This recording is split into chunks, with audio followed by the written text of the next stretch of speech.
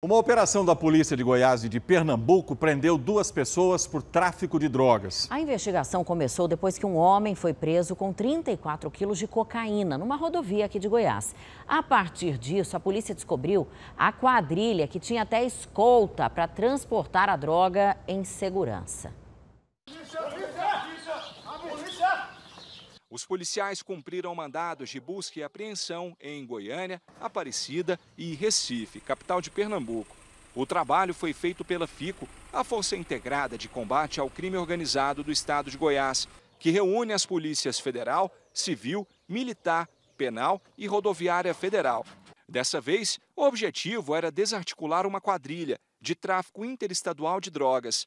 Dois homens foram presos, eles participariam da logística da quadrilha que transportava maconha e cocaína de Porto Velho, Rondônia, para Goiânia. Ele estava sendo acompanhado por batedores, né, que são uma espécie de pessoas que é, se antecipam ao transportador, a essa mula, para evitar que essa droga seja perdida. Então ele vai na frente para avisar o transportador a respeito de possíveis ações policiais. E hoje prendemos dois é, batedores, né, sendo um no, no estado de Pernambuco, em Recife, e outro na cidade de Goiânia.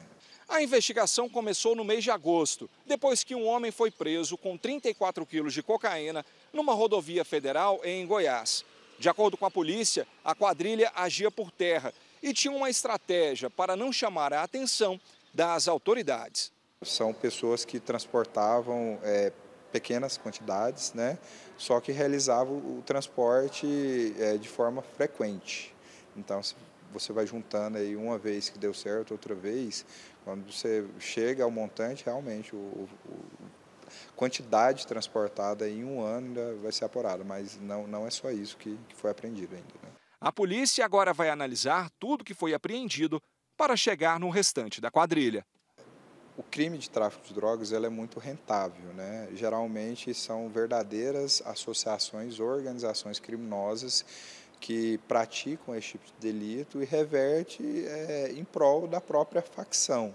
Importante ressaltar aí que esse dinheiro aí do tráfico, ela é revertido para a prática de todo tipo de criminalidade.